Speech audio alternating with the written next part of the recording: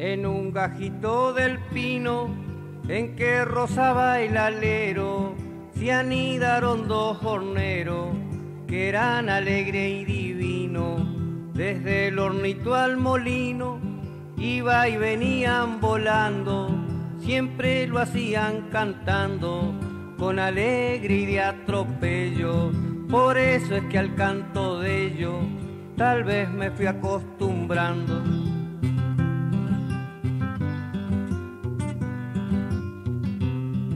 Pero un día que yo llegaba del campo en el pangaré, al hornero lo encontré, solo y que ya no cantaba, me sorprendió de que estaba sobre el hornito sentado, se ve que ni había notado que yo había pegado la vuelta, las plumas todas revueltas, solito, triste y callado.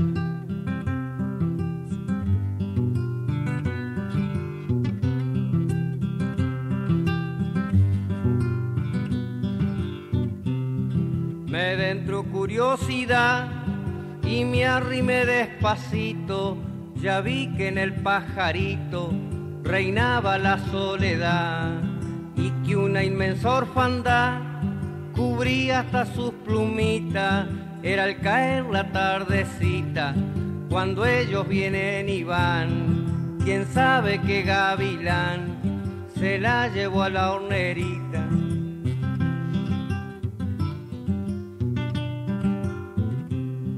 Desde entonces aquel hornero jamás lo escuché cantar, lo sabía ver volar con dirección al potrero. Pienso que el pájaro entero iba por dentro en lutau, porque se quedó callado desde que faltó la hornera. No sé si otra compañera con el tiempo habrá buscado. Una vez vino hasta el nido solito llegó del monte, como a buscar horizonte o algún recuerdo querido, porque después de un bolido cruzó por el galponcito y se perdió despacito, volando por la ladera. Y así se fue campo afuera con su pena y lornería.